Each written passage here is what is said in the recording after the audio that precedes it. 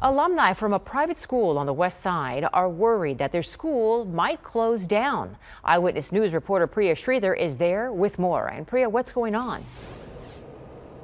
Sarah, we're being told that funding is a major problem here, and that's why the alumni of this school are doing everything in their power to keep these doors open.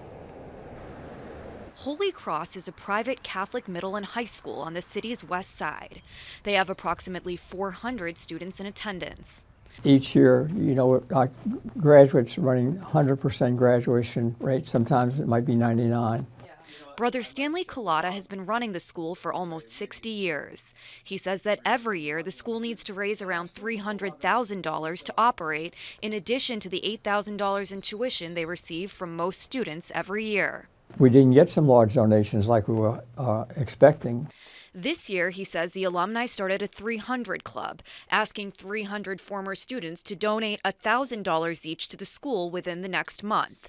They will also make a commitment to donate that same amount for two years after that. No, I'm not worried about it I, because they will come through what they say they're going to come through with.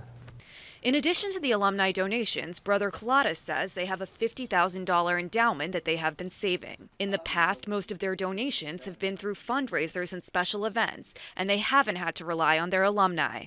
We've sold soap, we've sold shoe polish. For now, Brother Collada says despite the alumni's concerns, the school is not in jeopardy of closing. Now, Holy Cross is sponsored by the Brothers of the Holy Cross, which is based in Austin. I did reach out to them for comment, but haven't heard back from them just yet. Reporting live from the West Side, Priya Sridhar, KENS 5 Eyewitness News.